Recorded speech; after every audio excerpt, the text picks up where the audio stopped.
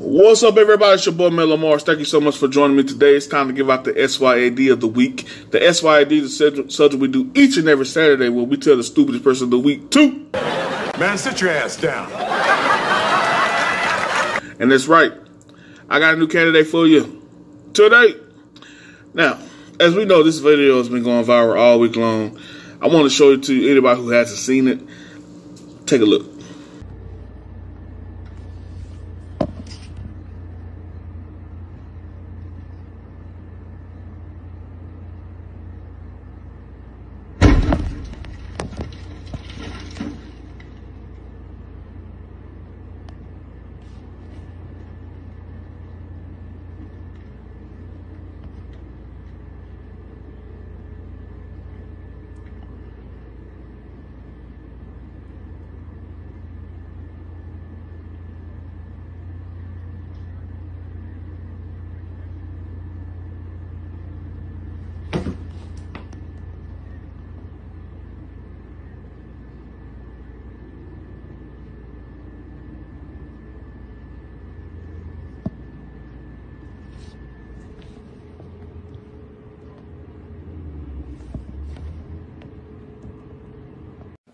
This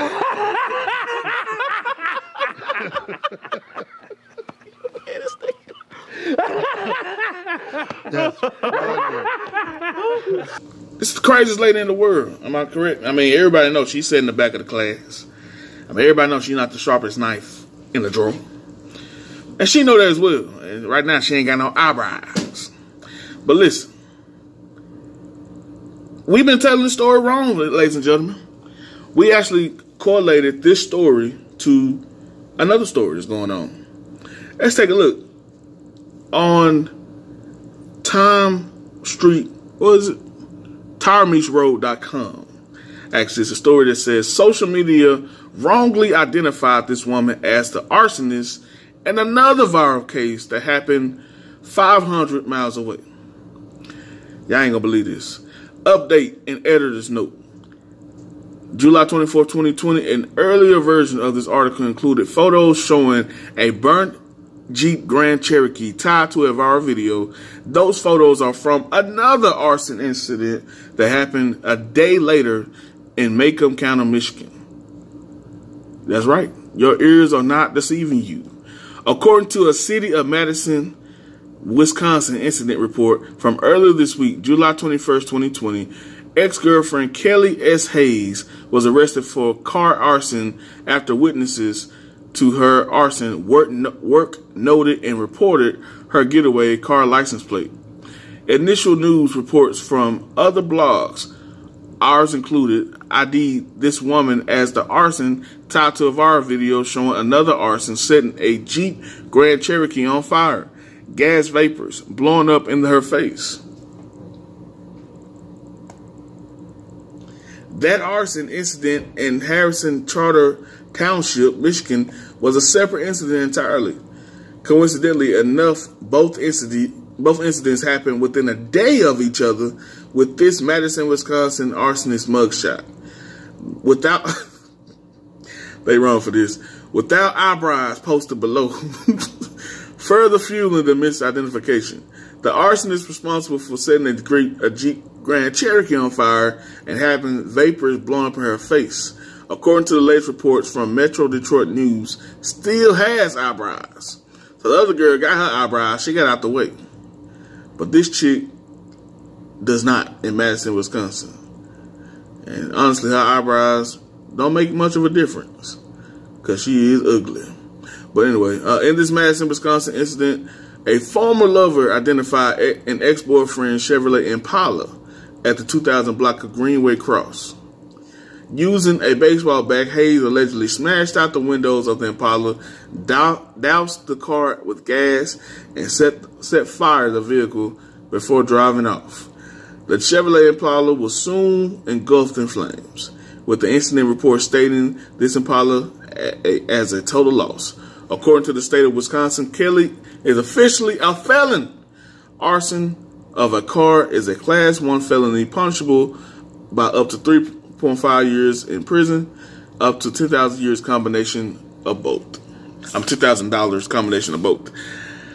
Guys, if you didn't understand all the stuff I just read, this was two black women in back-to-back days that committed arson felon. Burn a man car up. Well, actually, the first lady, they ain't her man no more. It was her ex-man. But the other lady was her man. A Jeep and an Apollo. So y'all been thinking this is one lady doing this in the fire. No, it was a totally different lady than the lady who got her eyebrows burnt off. This is crazy. And we know that. It's funny. It's ridiculous. And everybody's gonna move on like it ain't nothing. But it's a bigger issue that I want to point out, of course. I'm Mel Mars, I want to point out something a little deep. Remember a couple months ago when the, all the felony uh, protests and the looting and all the burning and all the buildings and all that stuff that was going down. Y'all remember all that stuff? I had a video that I said about all y'all going crazy about this stuff. But one thing I said in that video is all the burning, all the looting, all the stuff they were doing, it comes from feminine energy. It comes from feminine energy. And I pointed out in that video the the, uh, the scene in in uh, the movie Waiting to Exhale when Angela Bassett burnt up her man's car. I'm telling you, when women are done with you or, or you cheat on them or whatever the case may be, they want your life to be ruined. They don't want to move on. They just want your life to be over. I'm talking about they want something to be ruined. They want find, they want to see something burn. They just like a Joker. You know, some people just like to see the world burn. I'm telling y'all, it's a feminine energy. When men move on, we rather just get away from that person black women and women in general just want to ruin life for you. They want something to hurt. They want something you gotta. Re- it takes years to recover from. I'm telling y'all, y'all don't believe me, but when do you see and hear about stories of men burning down anything? You tell me that. But I want to make this video real short as I can. As y'all can see, oh, you may can't tell. I'm actually in a hotel room on the road, visiting my pops and his wife, having a good time with them. Listen, if you new to this channel, hit that subscribe button. Hit me in the comment section if you have anything to say about this, about my stance about this being feminine energy. If you know of a time where a man did this, hit me in the comment section. And definitely hit the, like the video. Share this with somebody.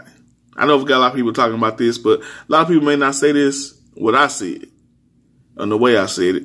And a lot of people may not know this is two different incidents that's happened. So share this with somebody.